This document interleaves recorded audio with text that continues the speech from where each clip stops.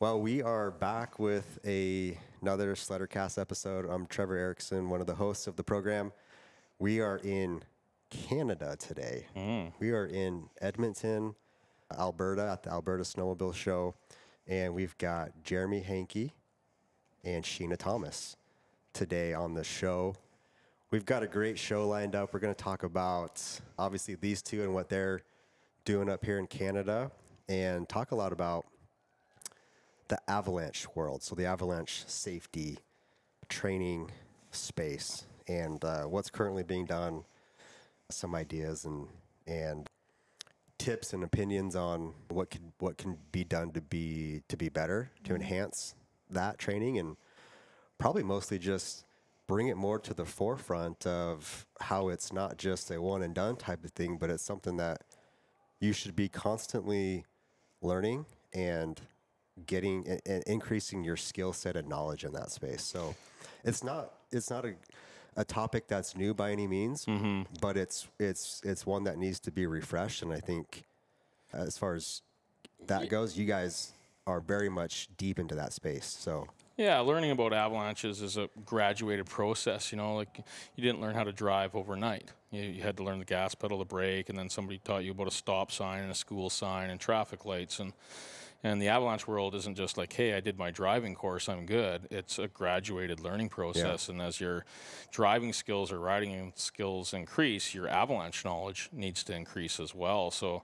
I think historically for snowmobiling, people were okay with like a three hour awareness and then then maybe they did like a level one that got them two days of education. But that really is just uh, that's dad taking you to the gravel road and driving up and down and practicing the brake pedal and what the stop sign means. Mm-hmm. It's not giving you a Ferrari and putting you downtown Tokyo. yeah, So it's a it's a graduated learning process, Yeah. and people need to be open to that because now we're riding Ferraris in downtown Tokyo. yeah. The way the machines That's a great are. way to put it, mm-hmm. actually. So, and we're gonna we're gonna jump into that. But first, talk to me about you guys. You guys are brother and sister, right? No, just kidding. Look pretty similar, right? it's the teeth, I think. The teeth. Yeah. Well, I Not think we- quite. No? Not- She's she's got got, a little nicer bit better teeth? teeth. than you. But I would uh, say the whole package, but well, I am from Edmonton. Well, I'm not from Edmonton, but I'm from Canada, so you know, that makes sense. Grow up playing hockey, that's and you can't ice skate, so you got to fight. Yeah. That's why you got no teeth. so we've both been snowmobiling our whole adult lives and really didn't know each other up until the same year we started dating. Maybe a, a couple of years later, I guess. I Which was how long ago? Uh, well, I was going to say I took actual avalanche course first, so that's how I first ever met him. Um, took his course, opened my eyes to what I needed to know, and then we didn't really hang out for a while.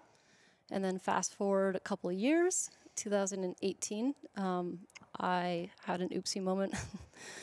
Ran my sled through some water, got it stuck in the slush, spun my drivers, left it on the mountain, went home, and he's the only one that wasn't like at a nine to five job who come help me get my mm-hmm. sled. So look up the phone number of Jeremy Hanke. Hey, can you come help me retrieve my broken down sled? Yeah, and somehow I that's that phone number doesn't need to be handed out to too many people because when there's problems in the backcountry, it seems to ring too much. and if they're friends of friends, it's like I'm this. I'll go get you from the backcountry in the middle of the night, or I'll Who come gonna help you rescue your sled. Like it's Call you just- Jeremy Dog the Bounty Hunter. Jeremy oh, right there. something like that. Yeah, I'm working on the hair. Yeah. yeah. So, eight, 2018 is kind of when when you guys connected Mm-hmm. and and the relationship started. Now you guys are are a couple. Yeah. You reside in where at exactly in Canada? Well, we have two places. We're lucky. We have one in Sicamous. Uh, we have a condo, and then we have my place, which is 20 acres uh, right outside of Revelstoke. And uh, we have a nice big timber frame house. We use it as a lodge. So we jump back and forth. We have a condo on the water in Sicamous, and then we rent that, and then we live in the lodge, and then vice versa. So what do you do on the 20 acres? Uh, well, that, that sounds like a lot of fun. it's well, it's uh, Revelstoke. It's an interior rainforest, so it's a lot of forest. And uh, and you guys rent you guys rent the lodge out? Is that what you guys in the winter months, yeah. So like a lot of our avalanche clients will come stay in the lodge facility, train in. We have a teaching space in the shop, and and we do it all in house and give them like more of an experience than it is just a classic structured course, you Yeah. know. So we spend a lot of time hands on in the field. In so we load up teach in the morning, go out for a ride, apply the knowledge that was taught. And yeah, it's a it's a That great seems setup. like an efficient way to do it. Yeah. Yeah, and we can ride right out the door, Mm-hmm. so that's also helpful. And depending on what level of education we're delivering, you know, we might ride out the door. We might try to find more uh, challenging avalanche terrain to manage to Yeah. teach. I'd rather application and knowledge is retention. So if you can't teach them how to apply it, they'll never retain it. So Yeah. you got to do it in the field. Is really where the retention happens. Yeah. Absolutely. Mm-hmm. So winter months, you guys are you guys are at the lodge. Uh, no, we're at my place and we rent out the lodge. lodge, there you go, yep. And then we flip six months of the year. We flip. We'll be at the lodge all summer, fixing it up, taking care of it, broken down slides, whatever we're working on. He's working on whatever he's doing. Uh-huh. And we stay at my condo in Sicamous. Nice. So yeah, it you guys works. got it figured out. Oh yeah. Yeah, they basically it doesn't really make us a lot of money, but it pays for them, so Yeah. it, it, it works out Yeah, pretty good. yeah, Airbnb mine and Yeah. Yeah. it's And good. then ours are just word of mouth. Like, kind of treat it like a country club. If you know us, it's cool. Like, all my family guns are in it. You know, all the nice, beautiful paintings. It's my home. So Yeah. when we rent it out, and uh, that's what I love about this sport is that you know I can rent it out, and if some, somebody wrecks something, they take ownership of it. You know, everybody's a everybody in the sport. I've only ever been ripped off once in this in the 15 years I've been doing this. So I'll, like people contact me like, okay, a six thousand dollar avalanche course with a lodge booking. Mm-hmm. Yeah, just leave the money on the table. No problem. Only ever been ripped off once. Wow. In Sledders are good years. people. Yeah, sledders are good people. Because it's a pretty. I mean, it's a relatively speaking, it's a small Community. niche. It's a small community. Yeah. So you burn someone real quick, It gets around. it gets around, right? totally. Yeah. For So- sure. And and that's North America, like, because I've been doing talks around North America for a while, and well, my whole friend group, Duncan, all that stuff is Yeah. uh, it's all from motorsports or from this sport in Yeah. particular. Yeah. So, So before we get we get deep into kind of the the avalanche stuff, it's kind of a fun story. Maybe some of those who are listening here to the Sleddercast podcast, they re they remember because I remembered this. I thought, what the heck? That is bizarre. We have a a phone recovery story, a pretty epic phone recovery story, and it was interesting to me because I was telling these guys earlier, I'm in the same boat.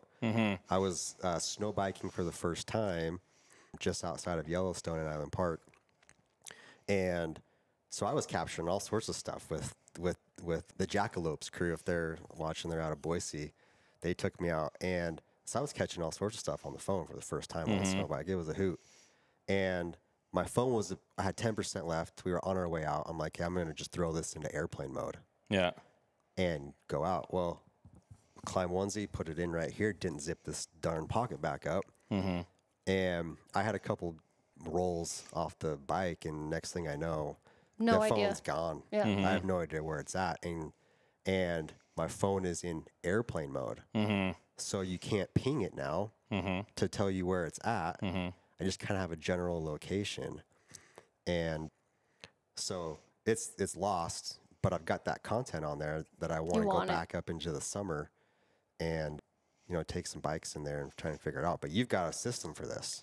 It, it's recoverable, yeah, because you you were online at one point. You Yeah. weren't in airplane mode, so it has a general location. And someone was uh, so Mac, the partner here at DV Inc. He was actually he had a, a torn ACL, so he was kind of following us on Find Friends, Oh yeah, and so You he, exactly he did where you were. see. So we have like kind of my mm-hmm. last known location of that did, thing. did you do like it's an Apple phone, right? So find my phone. Yeah, You did that. but it it it wouldn't tell me where. Like I could get to the last place That it's that it sent. had, and then where Mac had pinged me last on Find on Find Friends. Mm-hmm. So, you just need to do a grid search. So you need to go back in the summer, square out your 400 foot by 400 foot, and grid grid your way through the problem yeah and look for it. spend a day or something. I I was lucky because you know the way it went for us was we were teaching an avalanche course, and uh, I lost the phone. We had a bunch of stuff going on. I don't keep my phone on me because I worry a little bit about the transceiver interference. I'm super hypersensitive to all the little politics of it because of my own story, but I keep it in a little otter box and I'm very stringent on the front that. of the sled. Uh, yeah, Yeah. right on the front. So I, I pinned it down. I thought I closed it, and I hit a couple jumps, and then it must have popped. And okay, I recognized it gone pretty quick. Knew roughly where it was. Couldn't find it with the crew. Went back out. Came back a few days later with a different group. Fluffed up about a 200 square foot area. Didn't win. And then I was headed to Roatan to go scuba diving and get engaged to this young lady here. So I just left, and uh, and I had a really good idea where it was. So I came back, and like you, I had some stuff I wanted on it. How, phone? How important's the phone? Actually, it had it had the last 25 years of my GPS tracks All of our riding tracks. of all my secret zones. That's worth some money right there. yeah, that, yeah. so getting a hold of that would have sucked. You for- don't want that. Because those wrong are those hands. aren't uploaded to somewhere. Like those are secret. They're on the Yeah. phone. So uh, I wanted it back. So in the summer, I knew that I waited for the snow to melt a little bit, and my sister come through. So going for a quick heli flight, and landed, stepped off, and if I would have brought that search team up another 20 feet, I would have fluffed it out of the. S- But I stepped out of the and because the snow had just melted and it was dimpled out, and I kind of timed the snow melt. That's the key. Yeah. If it just melts enough so that the snow or the phone hasn't gone down, Yeah. it creates a little puddle. So you got this little blue puddle with the, your phone shining, and you can just see it. I could see it from the helicopter when I flew in. Because that's that was the next move, right? You went you went up in a helicopter, Yeah, flew over. Yeah. So I had family You weren't come in. messing around. Uh, well, I had family come in, and, and that's one thing you can do around Revelstoke. That's a cool experience. So I kind of hijacked the family flight and flew by, and I was like, oh, yeah, there it is. Let's just put down here for a minute. With with your naked eyes, or did you have like binoculars? no, no, we flew you pretty low. pretty low. Yeah. Okay. You kind of had where you kind of had that general area, so of where we thought it was. And so. I've got, I've spent a fair amount of time in a helicopter throughout my mountain career, so I feel feel pretty comfortable with uh, getting nice and tight and having a look and having getting the pilot to move in and so I can actually see where I want to see, you know, and that takes its own communication strategy to get that pilot to be able to have the visual on, on the ground and what you want to look at. And so I was able to just to see the small little reflection in the dimple, and I figured it because it's black, it's going to take on sun and it's going to give me a little dimple to look for. And But for your ping there or your last known, if it's um, there's there's two pockets. There's either a 50 meter pocket or a mm-hmm. 200 meter pocket, depending on how your ping was, airplane mode or not. Yeah. And so we first started with the 50 meter pocket, and we got all of our students to put their shovels into hoe mode.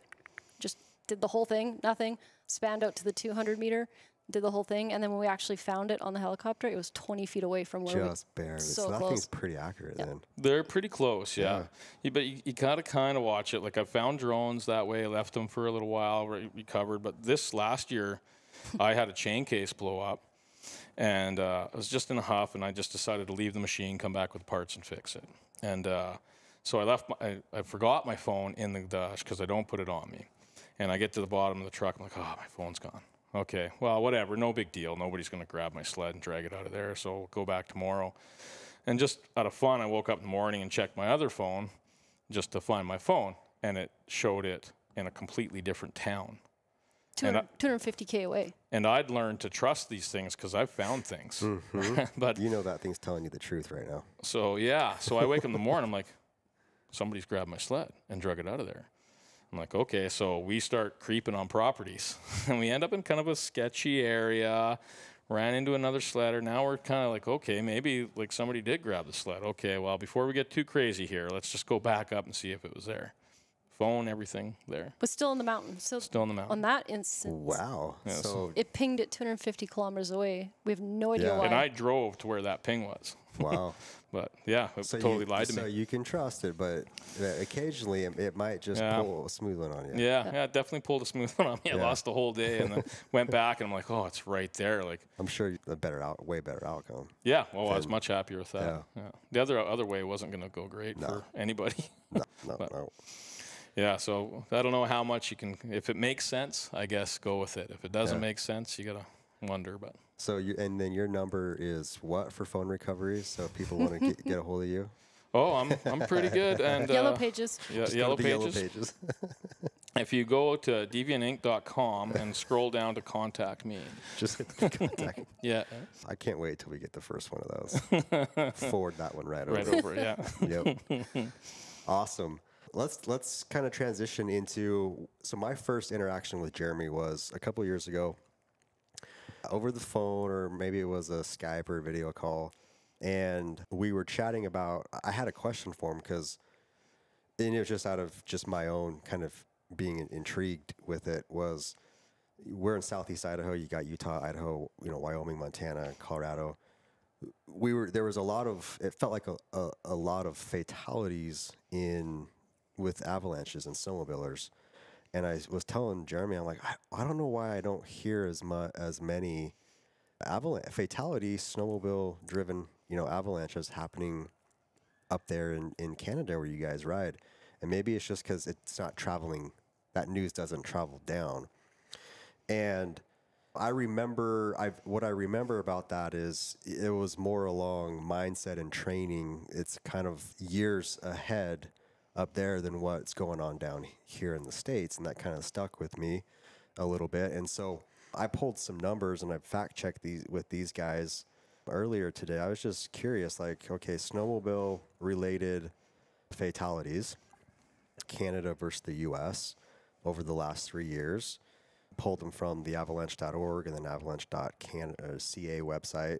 Uh, pretty repu- reputable sources there. Mm-hmm. Trustworthy sources. Trustworthy, trustworthy sources. So 2023, all right, uh, Canada two snowmobile fatalities in 2020. So this last season, Mm-hmm. 2023, versus the U.S. nine. 2022, so we go back another year. We've got one snowmobile fatality and, uh, verse six in the U.S. And then in 2021, four in Canada and nine in the U.S. So no matter no matter which way you're slicing this up, the U.S. is at least twice as many avalanche fatalities caused by uh, snowmobilers versus Canada.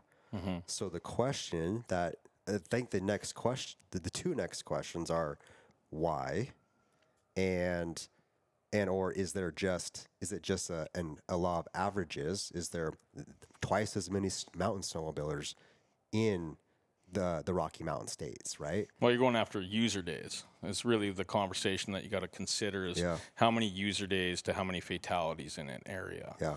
And that could kind of give you that base number. And that's a number that is really hard to get. Sure.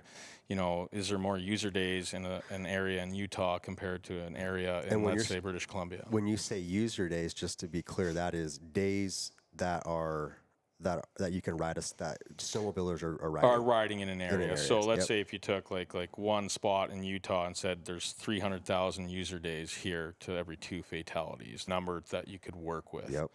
and learn from. Still, yeah. and we don't and we don't really especially in canada or, or the us that really have that user day number to really fully understand the scope The of m- mountain snowmobiling Yeah, yeah because that Yeah. would if that was accurate and readily available, that's a super good number to it's to just know and be like, we're struggling here. We need to really Yeah. step step it up. You know. So I did a comparable like that for just in Canada in the 2000s versus 2010s and, and then now the 2020s. Mm-hmm. So I didn't do it in the States, but I looked through the, the, the decades there and got the user days versus fatalities for my own knowledge. So there's a trend there we can talk about after, but I think what you were going after was like States versus Canada. Yeah, so I, I do in my own. I can theorize from my own experience. Mm-hmm. If we're in this for over 25 years of riding and probably 15 years of avalanche education and watching the numbers shift, you know, but you want to go with solid data. Yeah, there's a large increase in fatality of motorized use in the U.S. and and in Canada, we've done a good job at reducing that. But if you look at our numbers in the early 2000s, we had a real big uptick. Mm-hmm. A And so- lot. and so in early the early 90s in the British Columbia backcountry, we had a big influx of skiing and snowboarding and recreational activities.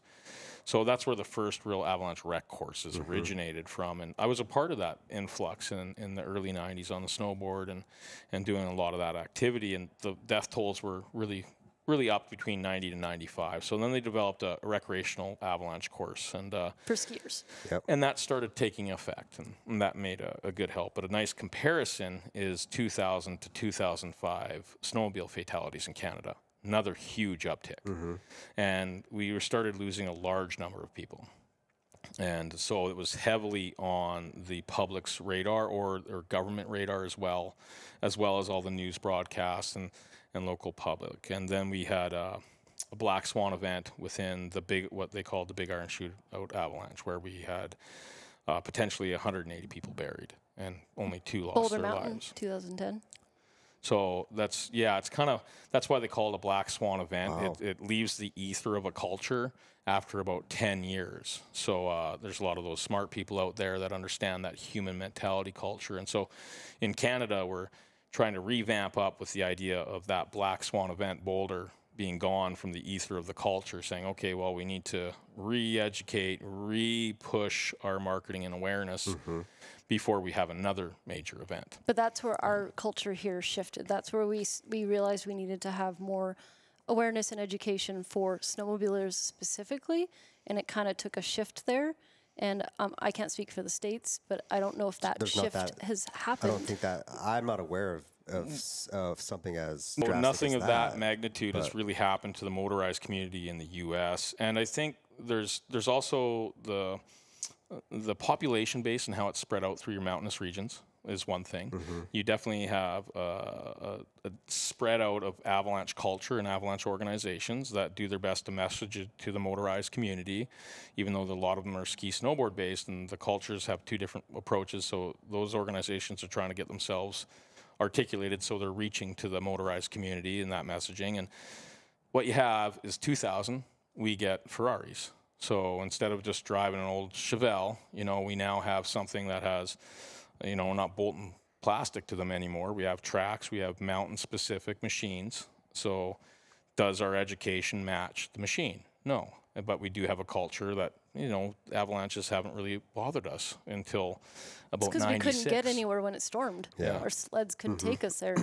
So when it stormed, yeah. why to where we currently are in the numbers that you run are different. Why was Canada successful? We have a, a strong mountain guiding community that's quite big, and the avalanche culture in the U.S. is really based around the ski hill cultures that mitigate avalanches for recreational use. Here we have a bunch in Canada. We have a bunch of recreational uh, professional guides. So there was this big, strong avalanche understanding how to mitigate the problem, which was a help. And then those people were in conjunction starting to develop that concept. And since we had these big events happening and a lot of people dying, we started figuring out how awareness would work, how communication tactics would work, and how we could reduce the fatalities. So, and it's a huge economic driver for our province.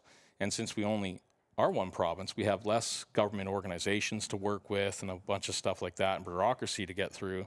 So we were able to shift, adjust, and create the proper messaging and start morphing the culture and culture shift. And we've been successful with that, I would say. But there, when you bring up numbers like that, we're uh, there's a lot of variable. There's snowpack variation there. There's the user days that we can't really condone. So um, unless you have a good solid user based number, then you can't really understand if your fatalities are increasing or not. Yeah.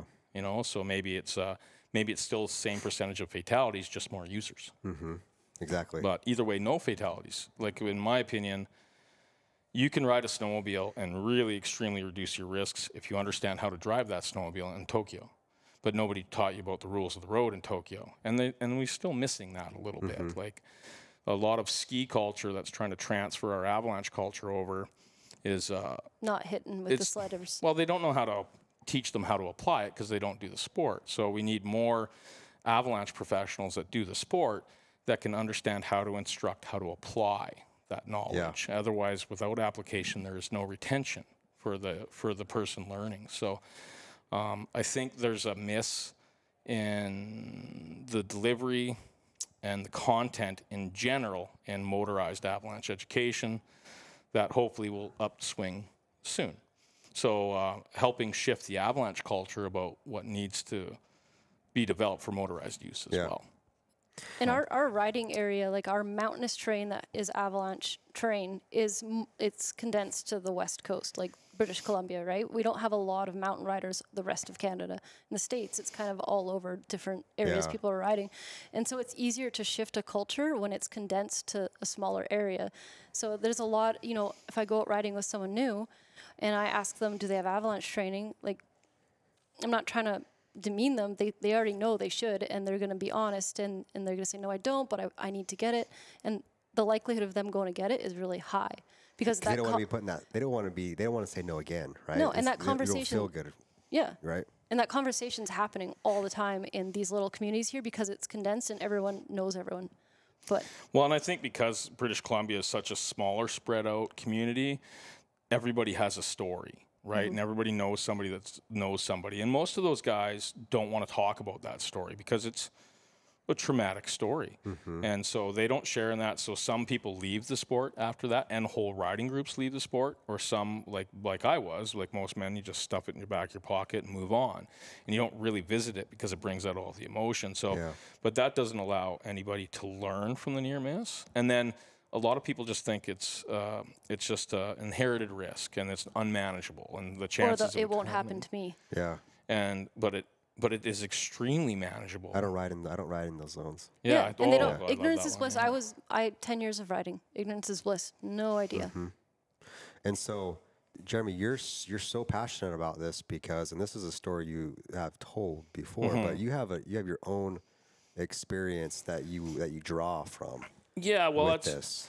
and then, you know it's funny because it'll bring a tear to my eye, but I don't draw it. So everybody kind of goes after. Yeah, I was buried. I was six feet deep, and another guy was buried above me. Uh, another group put a line over our heads, cut out a, a, a large avalanche, and it uh, it took out four of us that were parked below. We had a lot of fault in this accident too, and same with the people that put a line over our heads. So, can you pause one second? So, this was in two. You told me this was 2003. Correct. So, yes. 20 years ago. So, so Hang on, hang on. That I'm going to correct that for once. Okay. For a long time, I ran 2003, and it's because I didn't ever want anyone to find out. Ooh, wow. Still, 20 years later, the guy that died. Hmm.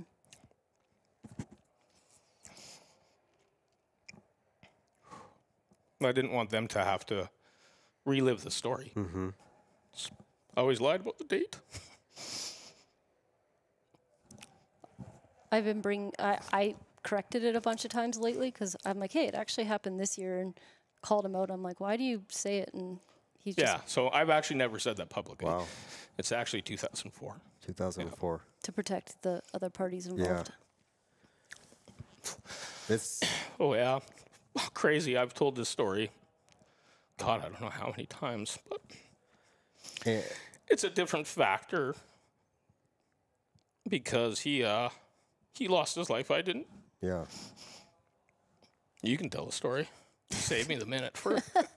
I've told this story in front of thousands of people and get away with not crying. Yeah. and uh, and sometimes when you allow yourself to go back to the reasons, it hits you. So that's what it is. If I can ask a question here, maybe give us an idea of because we assume now, okay, there were probes, there were awesome Mm-hmm. beacons. We had we had airbags back because we have airbags now, right? But but what type of equipment was that? Because there's some people who are probably watching this that shoot, they may not have even been born in 2004, Yeah. right? Or they're just so small they don't.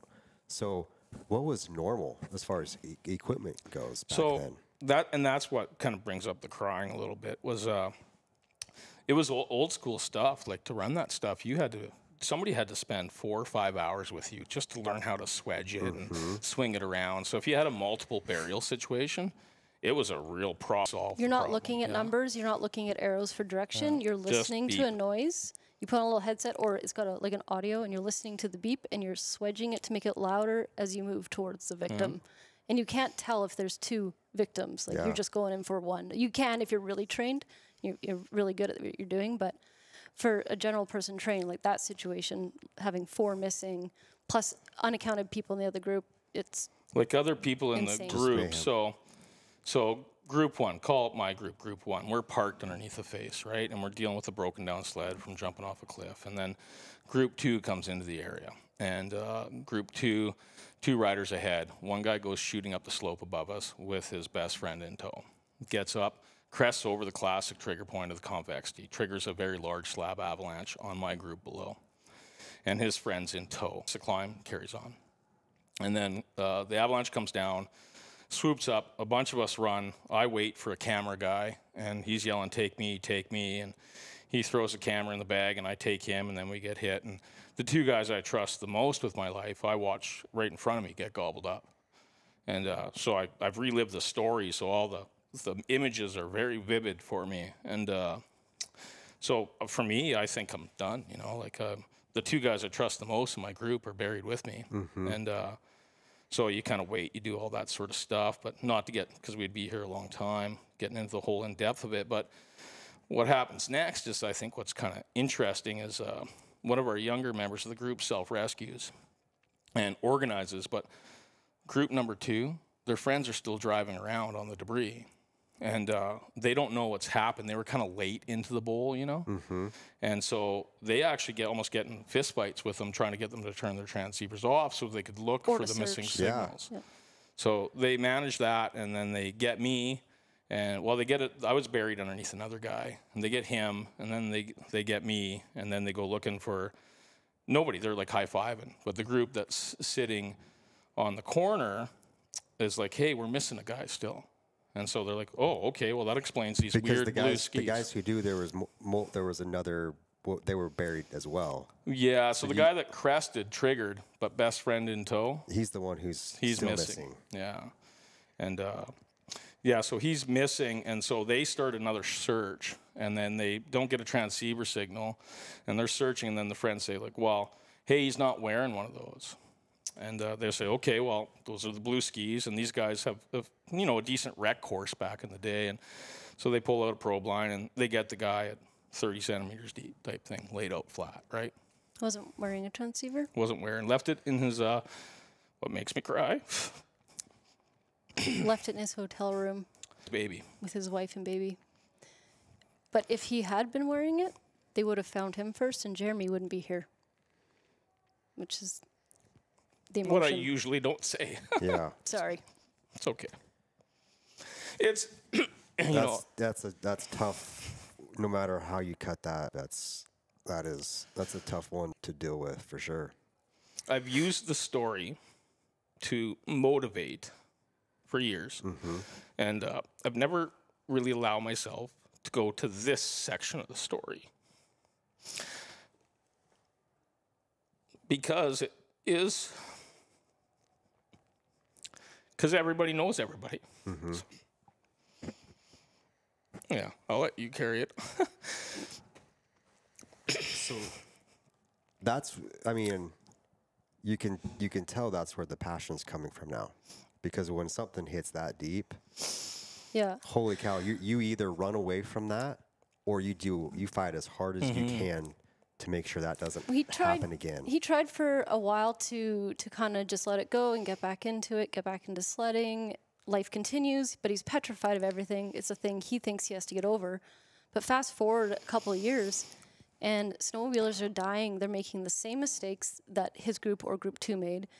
And at this point, outside cultures are saying, we're the problem. We're the ones who aren't learning. yeah. And he's thinking in his head, well, you haven't given us a course or an opportunity to learn our way. We're a different culture. We're, we're not skiers. Yeah, for me, like after that, I, I walk away like most men do, and pump, I'm an oil and gas guy. Pump it all in the back pocket and don't ever deal with it. And then oil and gas out here slows down in 08, and I'm kind of I got a house in Revelstoke. I ride all the time, and luckily, like I I went and bought a snowmobile after the accident. Went back out there because mountains were my life, and mm-hmm. it was good. I was fine, but all my friends really have high risk tolerances, so to be back out there, I had to be hyper analytical about every risk. So it's what made me good at it. So I still wanted to go out there, push myself, have a lot of risk, but I had to become very structured on how to minimize that risk to make myself feel very comfortable. Mm-hmm. And so had a big snowboard background, had a lot of mountaineering accomplishments underneath my belt, and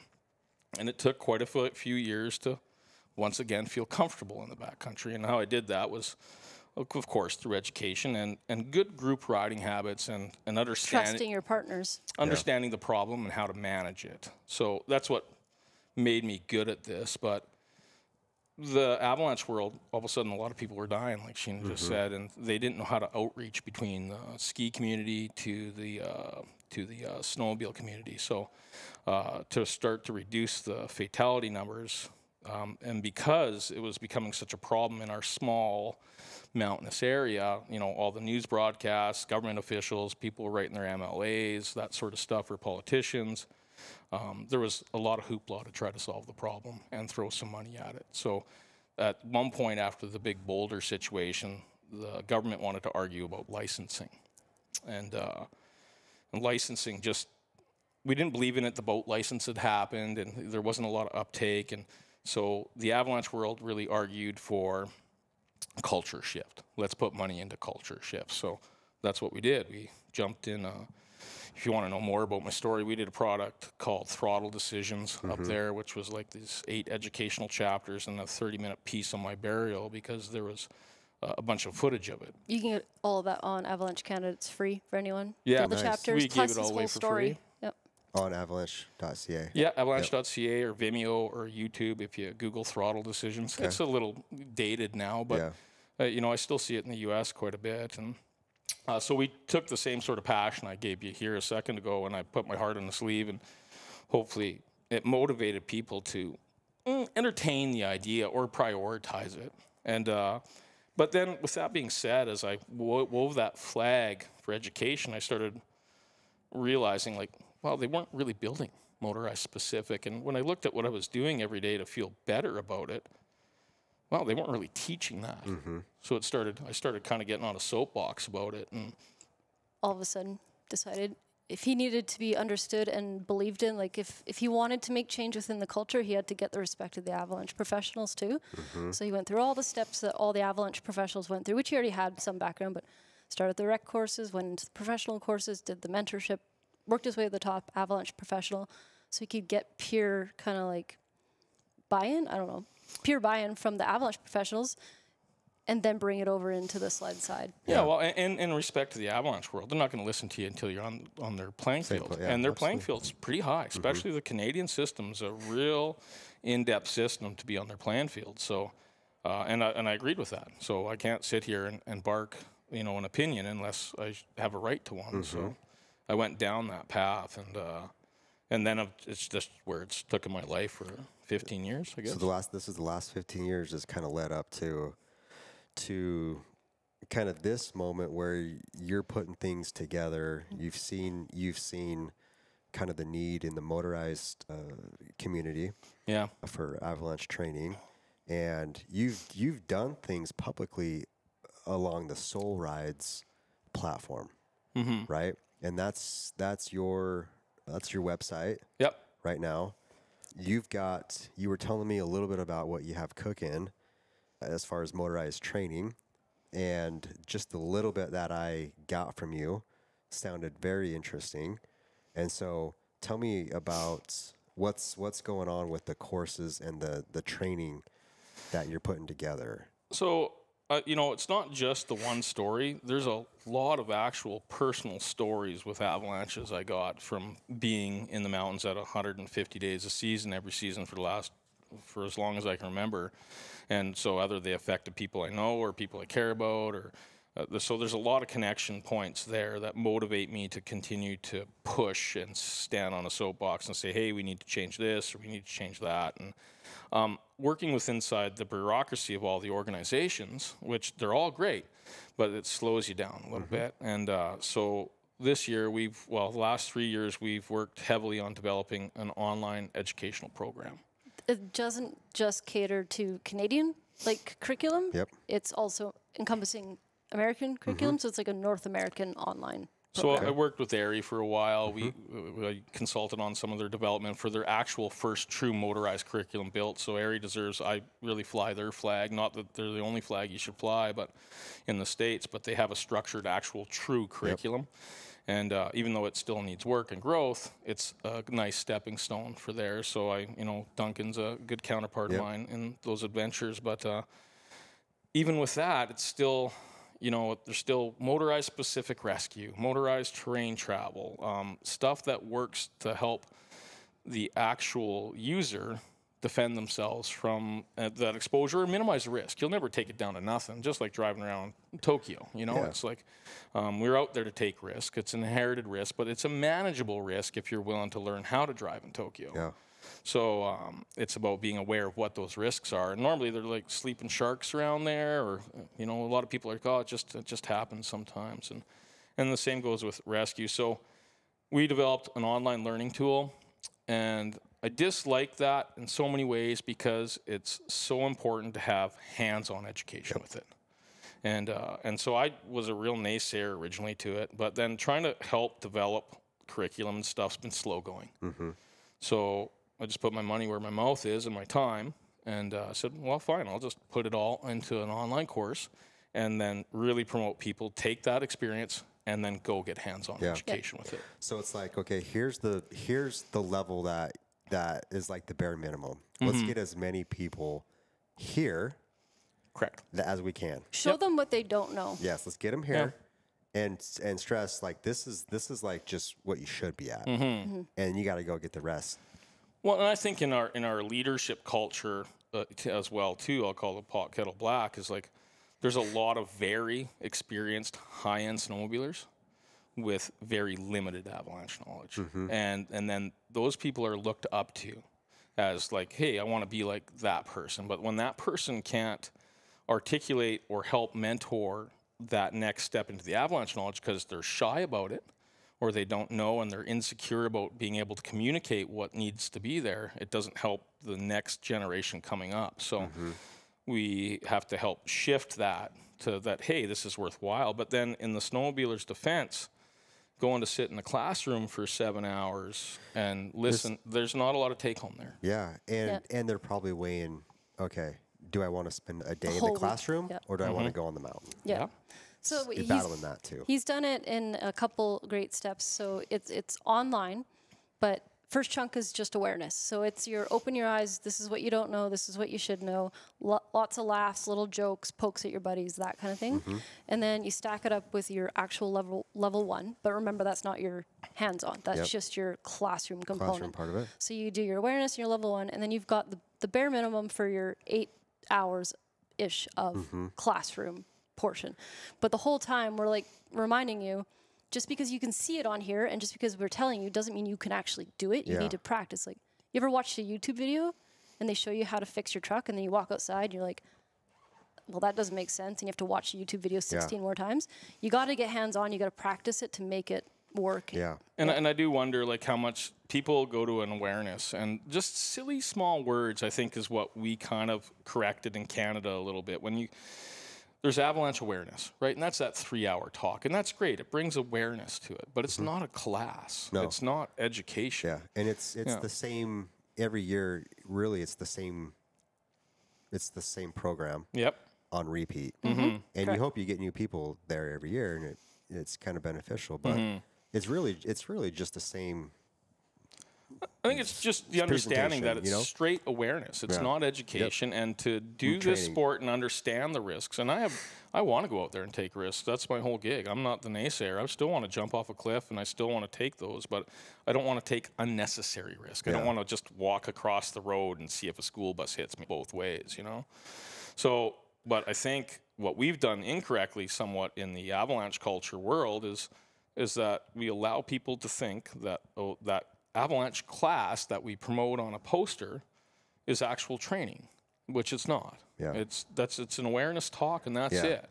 And I and actually, and I don't I didn't want to put that in a negative light because Mm-hmm. I've been to those, and they're there's not one that will tell you this is avalanche training. Yeah. They will tell you this this is just awareness. Mm-hmm. You know. And somehow the cultures, Yeah. wanting to say like it, it- maybe it's the snowmobile culture is just wanting to say, oh, I got training. Yeah, went to my training today. But and so they don't want to invest or not want to allow myself to come on here and cry or anything else is like there's a risk. Yeah, there's an inherited risk by going out there, but if you actually understand the problem, you can seriously manage it Yeah. to really minimize it. And you just have to be willing to invest in that knowledge. So we're hoping this online course now, like course without the hands-on, is more accessible. So everyone who has a weekend or has a month to sit down, it's broken down into modules. They can do like a Is it module of self-paced? self-paced. Mm-hmm. Yeah, Self-paced. totally. Places you can click I pause. can do it in June. I can do it in whenever March, you want. You can do it- replay a section you forgot or you want to watch again. So you have you can use it to your own schedule Okay. As much as you want. So you get the knowledge as much as you want, and then Computer and mobile. Like, can, Yep. I, can I be on my phone too? Hundred percent. Yeah. Mm-hmm. Next year it'll be in its own app form. Okay. It's always done one of those classic, uh, one of the top-notch um, online learning platforms. So Yeah. it's all structured that way. And um, I won't have it done now, but I actually have one of the one of my mentors, who's a professor for a university, is going to do all the academic side. So I took my real world approach, dump my heart and soul and passion into the visuals and that delivery. And then in the module portions or the script portions of those, um, it will be a whole academic approach delivered from him. So Nice. uh, so I have a, a- an actual university teacher developing all that sort of stuff for the keeners. Like Shena learns that way. Yeah, I'm a, I'm a, that's probably what makes me good at this. I'm a old redneck, rough around the edges. You got to kind of beat it into my head. And for someone like Shena, she learns theory. Uh, Yeah. you know. um, So his the- course is a good mix of both. Yeah, yeah. that's awesome. So yeah, just really trying to shift that way and uh, and just stop that number Yeah. nine. Like for some reason, like I'm connected to every one of them for some reason. Not sure why, but it's uh it's something I carry for the rest of my life. Mm-hmm. And I'm sure like there's other guys in here with the same story, but they don't want to talk about it because that happens and they're shy. Yeah, get over it. I got no teeth. I'm I'm okay with my manism. Yeah, definitely. Yeah. But, mm, So I appreciate you coming on here and and, and sharing that story and, and it's it's obvious like where your passion comes from and so how cool is it to think like you know the podcast space YouTube video like going to work I'm at or you're at work and you just throw the training on Mm-hmm. the the the awareness training that you guys have on that platform and just let that thing roll you know let it play become familiar with it throw it in the car on your way maybe you're not watching it but you can listen yeah. you can listen to it. Doesn't mean that's the, the first and only time you're going to go through it, but at least it's it's repetitive, and Yep. you're just getting, you know, aware of those things and. and Yeah, and I tried to make it entertaining as well. So there's so movie clips. There's Mo- jokes. There's I like, mean, you're rolling with the green sc- a green screen. Oh, so, yeah. Oh, yeah, So it's who knows what's going to be? Who knows playing- what can pop up you know, there? I with the put- old green screen. I put about 200 grand worth of effort into it. So it's uh, I put my money where around. my mouth Yeah. was, and because I that's been my goal since I somehow pulled this emotional experience back out and lived through all the other emotional experiences I've had throughout the mountains and my time in it. And I love the mountains, and I never want to not be in them. And and wanted to share and shift that culture so people can feel comfortable going out there, and uh, and not have their wife be like, oh, it's you know avalanche hazards that extreme. Mm-hmm. And like, and I think a lot of the organizations kind of fearmonger a little bit. You know, it's like you can't go snowmobiling. Avalanche is that high. Mm-hmm. Yeah, you can go snowmobiling. Pick you just proper have to train. pick appropriate terrain. Mm-hmm. But a lot of the content was built for skiing and snowboarding. Well, in skiing and snowboarding, I have to be on 30 degree pitch Have fun, yeah. to have fun. So if you can identify what avalanche terrain is, where the runout zone is, you can still go snowmobiling. Mm-hmm. But if you can't, then maybe high should scare you out of the backcountry. Yeah. And so the avalanche organizations don't articulate that very well and that shift in sort of terrain use. So I figure, I hope something like this can help Yeah. the our motorized community get motorized specific target, but still absolutely need to actually learn how to on in all of my friends driving from across Canada to go snowmobiling this winter, watch it on your drive. I know you have 18 to 24 hours drive. Perfect. Put it so on. that's a great question. Put How many on. hours is it total? Uh, so total, so you do the intro, it's two and a half hours. Okay. You do the whole level one, so intro into level B, eight hours Okay. of content, and all broken into you 10 to your trip right 15 minute there. modules. And you know, if you want to come do hands-on courses with us after, you each individually have to register and come to me with a certificate. So, because I don't want to step backwards in my actual field Yeah. portion for you, so you'd have to actually complete it. But what I'm hoping to do with it on the international stage, so to speak, or Canada, US, and that's why I built it neutral between how AIARE and the communications of the American side and then the Canadian side is so that if people are doing it, they're going to ends, they're going to whoever else for hands on, it works in conjunction with what they're doing Beautiful. and the content that they're delivering. So the People are going to have the same vocabulary as they're Yep. going to get on hand, like infield with ends. He's same Mm-hmm. terms. Yeah. Same terms, same sort of approach. So it could be utilized in that Yeah. conjunction as well. And then and then it has my flavor to all the work. So we just had a couple posters at the International Snow Science Workshop. Uh, In one- Bend, or in Oregon. Bend. Okay. So trying to get some peer review process from the avalanche world on terrain travel techniques and how what would be industry best practices, industry best practice for motorized avalanche rescue, and and just in the morning, like for me, like there's good points and bad points. You can beep check somebody on a snowmobile as they drive by you, but you better be really proficient with that transceiver to not get messed up by a ghost signal presented. It all Yeah. depends on manufacturer. So the electrical interference problem and how it affects us is a big part of that conversation out of the Skiers years. don't have that, right? Mm-hmm. They don't got the magneto and the sled running and the shot and all that. Yep. So, and there's that's kind of a new problem in the avalanche world that they're trying to wrap their head around is the electrical interference and how it affects us. So, there's a bunch of content on there that doesn't matter if you're a longtime guy, you've done a uh, level two training program or whatever else. You'll everybody will gain something even from them, Yeah. And uh, and learn a lot. And like I said, I uh, I didn't mess around. I put Yeah. a ton of passion and energy into it. It took me three years. That's amazing. And this this training right now, I believe you said there's it's is it free or So the no, first year? right now I'm just handing around so, the show so for there you go. Go go Yeah. play with it. Let's Yeah. get some feedback.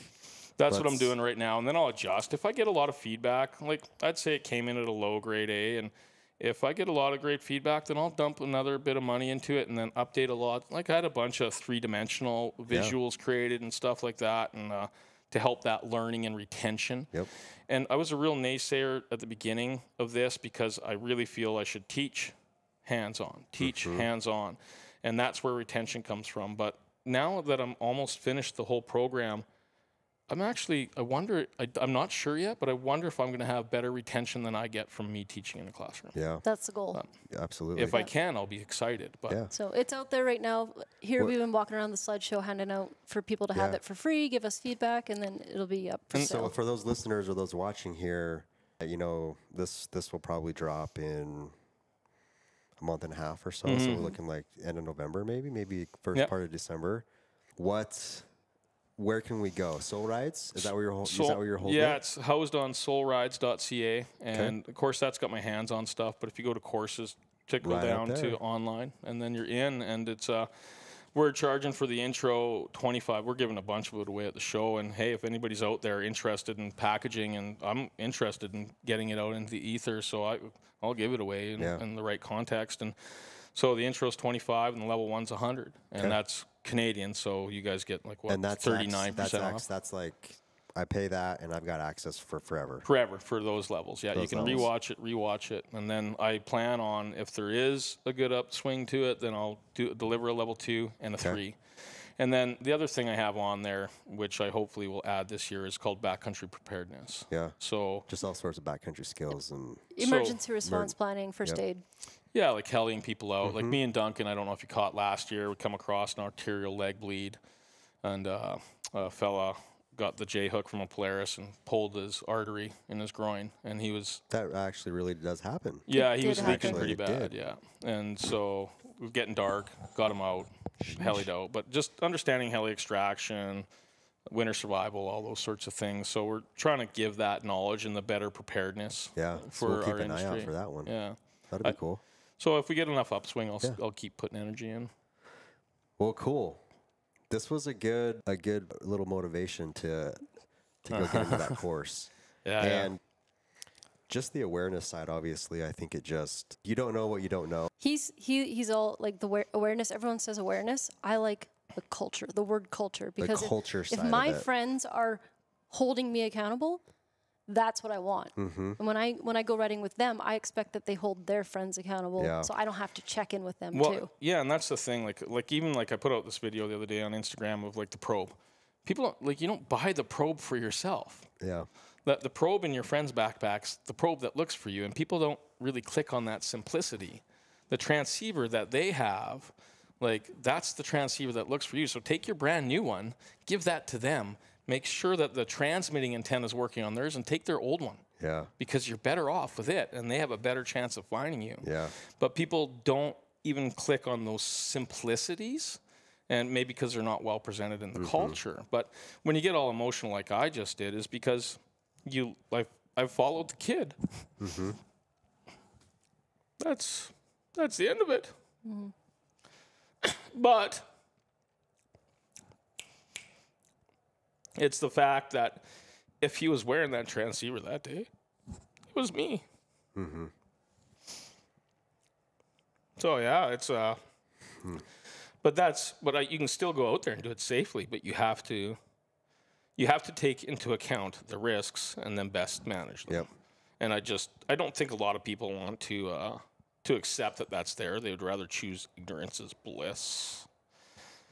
It's eh, because it's easier. And right? for me, I don't I don't have that option anymore. Yeah. So I had to figure it out to Yep. enjoy it. And and we still ride it up. We push limits all the day, but We were riding some avalanches last year oh for fun. yeah, We were setting them off and surfing them a little bit. yeah, It can be managed. you can manage problems. Like when we were younger, like we were a little out of control. Like we were taking way too much risk. So Nope. yeah, we we're just done. went off. We're good. This one's still going though. So yeah, I, I don't know. I, I hope the the whole uh, exposure of motion helps people realize it's it's real. There's a lot of numbers, Yeah. and uh, and those people either leave the sport, don't ever do it again, they change their lives, or they they grow from it and they stay in the sport, or they just avoid emotionally dealing with it. And and even after 15 years of telling this story, it affects you.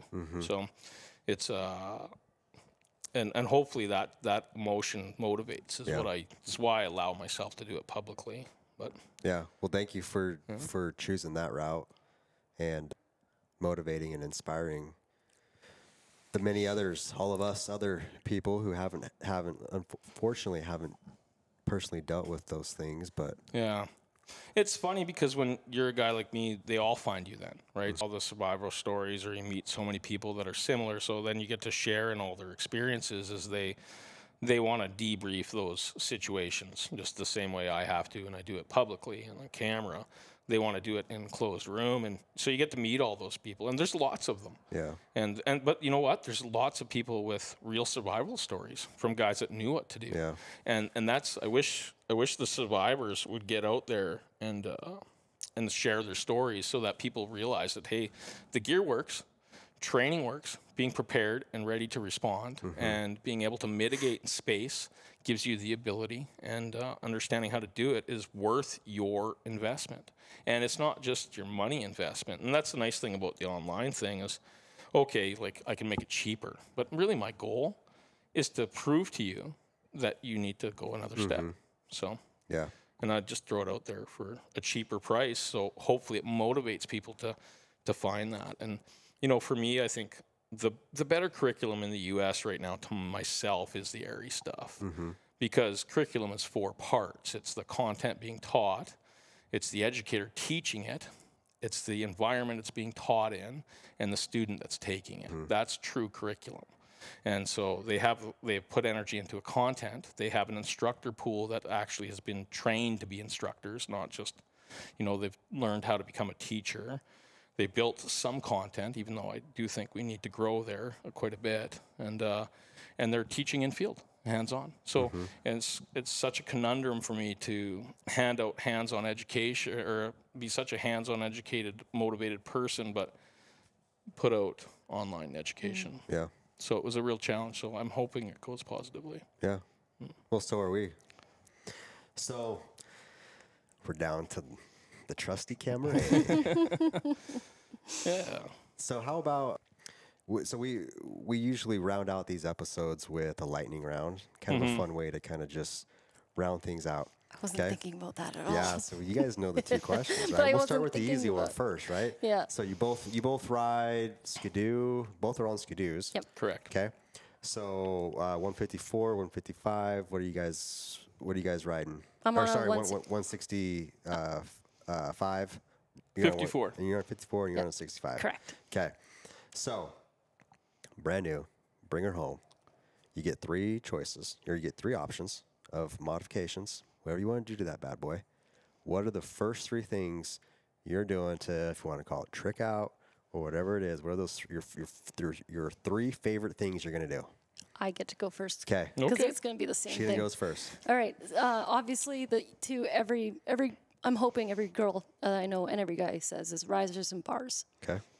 I lower the risers and get bars fitted for me. Mm-hmm. So those easy. Um, but last year, what I discovered, um, which I'll never go without now, something called Trail Tech.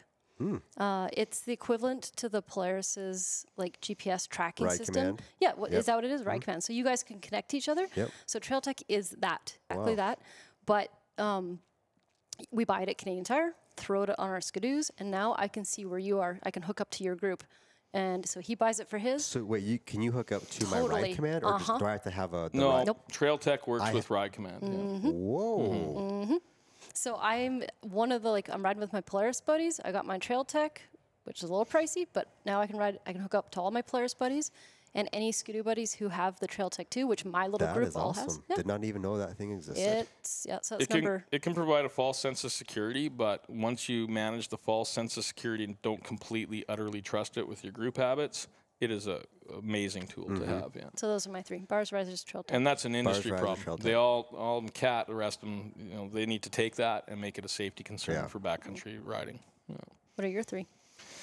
Of course, cockpit controls for sure. Brake levers, hands, uh, matched to my body width and size. Um, you know, riding a Skidoo, it's straight to shocks.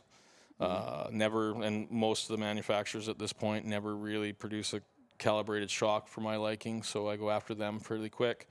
And uh, yeah, you know, I'm a sucker for the pricey Diamond S can. It's feather light and uh, and it's fairly quiet Yeah. still. And I like the I like the extra space because as a backcountry guy, and especially like the Rebel Revelstoke area, we're removed where we ride. So I, you know, I stuff in guides tarps and a bunch of backcountry survival stuff I don't want on my backpack.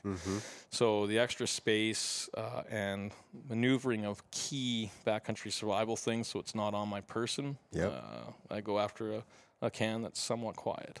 Nice. Yeah. Okay, so those are the three. Learn something new with Trail Tech, so that's awesome. The last question is what is one thing that we, people who are listening, watching, snowmobile community, do not know about you? What's the secret? Interesting. Who wants to go first? Shena? Me? No, you Jeremy's go first. going first. I, I forgot to think about this one. Go ahead.